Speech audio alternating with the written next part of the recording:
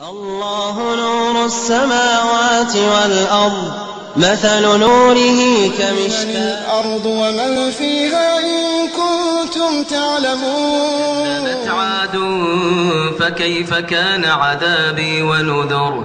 إنا الرحمن بالغيب وجاء بقلب قالها ربي جل جلاله سبحانه وأعظم الكلام.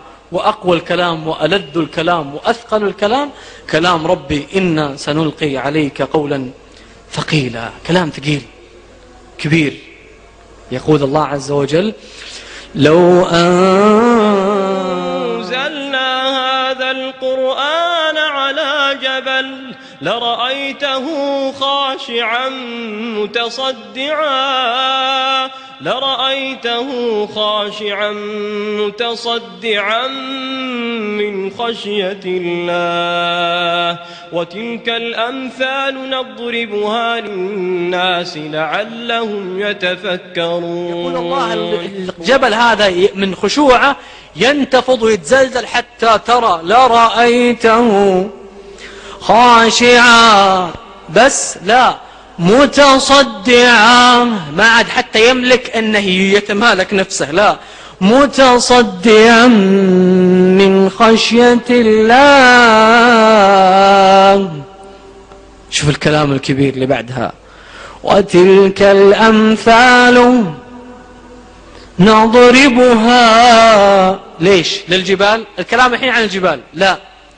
وتلك الأمثال نضربها للناس ليه؟ لعلهم يتفكرون. يجلس يفكر في نفسه. جبل بينتفض وأنا عشت ومت ما عمري انتفضت لهالقرآن ما عمري حس زلزلني من داخل القرآن.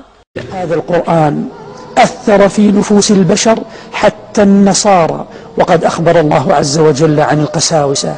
الذين استمعوا كلامه بإيمان بأنهم إذا سمعوا ما أنزل إلى الرسول ترى أعينهم تفيض من الدمع. وأداة الوصول لهذا القرآن هو القلب. عشان كذا إذا كنت تقرأ القرآن وما تحس بشيء في مشكلة حبيبي لازم نعالجها.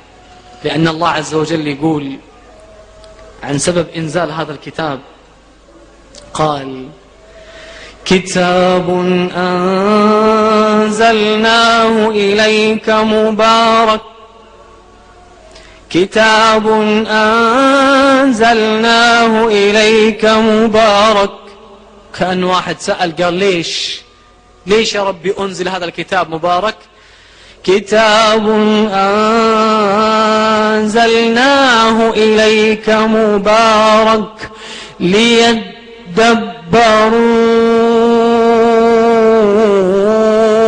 سبحان الله. ما قال ليقرأوا.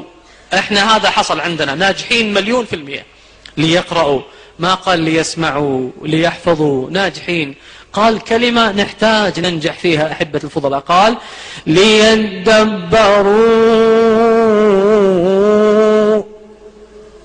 صفحاته يعني كل صفحة يطلع منها بشيء نفع قلبه؟ لا. ليدبروا أجزاءه؟ لا. ليدبروا آياته. سبحانك يا رب. كل آية يعني المفروض نحس فيها؟ كل آية؟ إي والله هذا المفروض. ولأجل هذا نزل. إذا كان واقع واقعك حبيبي ما يوافق هذا المفروض إذا في مشكلة لازم نحلها قبل لا ننتقل من الأرض. لأن ما عاد عندنا يعني أن فرصة التلذذ بهذا القرآن هي فوق الأرض اللي إن فيها الحين. إذا متنا خلاص ما عاد نتلذذ بالقرآن. قال الله ليدبروا آياته وليتذكر أولو الألباب. سبحانك. إيش فيش علاقة أني أتدبر وبعدين يتغير فكري؟ إي والله يوم تقرأ القرآن هذا بقلبك تتغير عندك أفكار كثير. تنظر لل- للأمور اللي ترج العالم وتهز العالم ما تهزك. تنظر للأشياء؟ والله بنظرة مختلفة تماما. ألم يأن للذين آمنوا أن تخشع قلوبهم لذكر الله؟ أن تخشع قلوبهم لذكر الله وما نزل من الحق؟